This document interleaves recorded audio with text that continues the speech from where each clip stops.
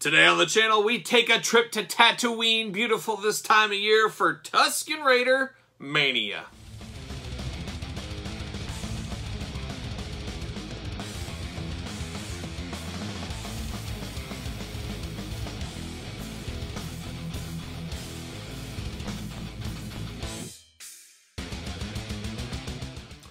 Welcome everyone, Kyle here, and welcome back to the channel for our daily Star Wars unboxings and reviews in 2021 and possibly beyond. But today on the channel, we've got Tusken Raider Mania, but for all your Star Wars needs and a whole lot more, hit up Big Bad Toy Store, link in the description below. So what a fitting video today. I figured, hey, I got three different Tusken Raiders. I'm going to put them all together in one video. Very cool, very army building like, really world building like with these Tusken Raiders, as you guys know. Uh, Tatooine's finest, some might say. They're deathly afraid of my old favorite Obi-Wan Kenobi. We know that.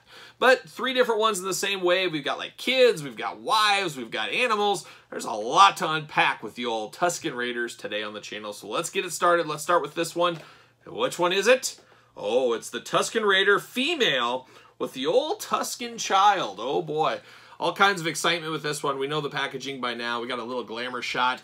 That's obviously the child, or at least I hope it is. That's the child, and that's the female. So we've never had these, as far as I know, in the line before. So it's really cool. You gotta, you know, flesh out your Tusken Raider army out there, and you need the women and children first. You gotta put them in there. So very, very interesting with this one there. On the back, we got that generic blurb at the top. Then we got the blurb that's specific to these characters. We'll read that. Cross sell. We got Star Wars logo. We've got Empire, what did it say? Attack of the Clones. Attack of the Clones up top there. So that's interesting. Threw a little curveball. I was thinking New Hope, but I don't remember seeing the women and children in the uh, New Hope. So that's interesting. Warnings, 10 Jedi Master points. Really should be 20. We got two characters here. Give me 20. But eh, beggars can't be choosers. $5.99 at my local toy store, and I probably got like 10% off that. Got to get a deal all day long. See you later. And see you later. Bam, there it goes. Plastic prison time. Hmm.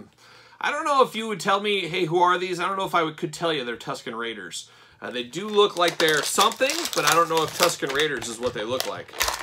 Pop them out. There it is. See you later up high. There it goes. Oh, got a mess there. There it is. All right, let me get down to the brass tacks here. Let me check out the female first. So female Tusken Raider, no mask removable, none of that kind of stuff, so we won't be able to see her face, unfortunately. Almost looks Egyptian. Uh, does that, I don't know if that fits right, but that's what first thing I think of is uh, Egypt. We got an Egyptian going on here from the old times. The old times, the old Egyptian pyramids is what I feel like this is. Could almost be that episode of G.I. Joe, if you guys remember that one. But she's got a huge robe, shawl, cape. Not sure what it is on the back here, but the child fits in the back, so that's an interesting one. Carrying the young around, they got little legs, they like to be carried. I've got a six-year-old named Emma, and she likes to be carried too, and I'm like, you know, you got feet, use them. But every once in a while, she's got to go on the shoulders to be carried for a while. Uh, but very interesting. Got a typical uh, Tusken Raider weapon. I guess the female version here. Uh, articulation is extremely limited by this big robe piece that goes over the top. Uh, really feels like a chess piece, as we always say. It feels like a king or a queen. We're just going to do one of those. That's what it feels like. Uh, not a lot here, but this is one of those great ones. You're building that Tusken Raider shelf. You're building your Tatooine shelf out. You put these in, mix them with your Tusken Raiders, and you're cooking with gas. That's what happens there. We got the child Tusken Raider, and I'm surprised we actually got articulation with this. So the arms move, and that is it. No waist, no nothing else. Just very, very minute, but very cool. Very something different. Uh, you guys know I love my big figures, but I also love the little figures. The little figures got a special place in my heart, and then he fits right in the back like a glove. He gets carried around almost like a chimpanzee looking out the side. Like, what's going on here? What's up? What's going on? I could see some of that going on. So a neat figure, a must-have by no means, but really cool to build out some of your Tusken Raiders. I got that Bantha we unboxed on the channel a few weeks ago. I got like five different Tusken Raiders. Gonna mix these guys into it, get the wife and kids in there. Man, you got a Tusken Raider block party is what you got. So I like this one. It's cool enough for what it is. For like five bucks, can you really complain a whole lot about it? You really can't. But now we turn our attention to this one. Tusken Raider with the Mastiff. And when I was setting up this video here, my head just hurt. I said, I've seen this Mastiff before. Did I already unbox this on the channel? I'm totally confused. I don't know what's going on. I don't. I feel like I've done this before. And then I walked into my other toy room and I said, here's the latest Star Wars I've unboxed. And staring me right in the face was a Geonosian and a Mastiff. So apparently the Geonosians and uh, the Tusken Raiders both love to have Mastiffs. Uh, apparently they love to have their creature like dogs. So they both share that love. Uh, maybe the Geonosian, Geonosians and the Tusken Raiders are friends. Who knows? Maybe they breed animals together. Who knows? But it was really messing with my head. I said, did I already unbox this? And that's what it was. It was with the Geonosian. So we've seen this Mastiff before, uh, but we haven't seen this Tusken Raider. So there it is in the pack. That's the typical packaging we know. Beautiful high school glamour shot of this Tusken Raider here. He looks just to die for. in his best Tusken Raider garb. Robe, cape, shawl, bathrobe, whatever you want to call it. Just looking only like he could look. And then on the back, we got the blurb about him. We'll talk about that. Generic blurb. You got Attack of the Clones at the top, Star Wars. Got a little uh, product images. You got a little cross sell. You got some warnings. You got 10 Jedi Master points. A lot going on in the packaging for this one. See you later. Right off. Just like a glove. Right off. See you later. Oh, yeah. No weapons with this Tusken Raider, which is unfortunate. Always love a weapon, but he's got a lethal weapon, like a young Steve Blackman here on a chain. He's got, see you later, his massive rubber band, gross, disgusting, all over. Oh, we got dental floss all over this guy, so we're going to have to bust that out. Maybe. Oh my gosh, it's a mess. It's a mess. Oh, gross, disgusting. Just breaking into a million pieces all over the table. Oh, I don't need my teeth cleaned today, thank you. But he does come with, uh, what is this? It's like little wristlets that go to, I guess he doesn't just walk it on a leash, he ties it to his arm because it's a powerful Mastiff. Uh, but it, we've seen this Mastiff, it's identical. It's 100% the same we saw before. Uh, he does have really articulation in the mouth. Almost looks like a mix between a lizard, a crocodile, and I guess a dog. Uh, he's got four legs, but he's got the same kind of harness, same type of everything going on here. I do like it though. Uh, I, I just think it does work. I, I don't remember the scene in the movie where apparently they had these, but I guess they did. So that, I guess, makes sense to put them together. Or they just did a mashup here and said, you know, let's throw a Mastiff with this. Bam, we got a new figure. Maybe that's what they're doing. This could be the same figure. No, it's different. I was going to say, for all I know, this could be the same figure here. But it is a Tusken Raider. He's got his uh, bandolier or whatever you call that with all of his stuff he needs there. No weapon, but you can tell he could hold a weapon. So, you know, they've released this with weapons in the past. Looks like a Tusken Raider. Going to blend in with your Tusken Raiders. Going to take his wife by the hand and grab the family Mastiff, and they're going to go to the mall. They're probably going to get, you know, Aunt Anne's pretzel or something like that. Maybe visit the play place for a little bit. And then, you know, try to get some free samples at Costco across the street. That's usually how my mall visits go. Uh, and that's what we usually do. But there it is. There's the Tusken Raider family. They're going to stay together. But then you got the wild card. You got Uncle Jimmy, the crazy Tusken Raider, and he's off to the side here. We're going to get to him next. It's typical packaging, same packaging we've seen.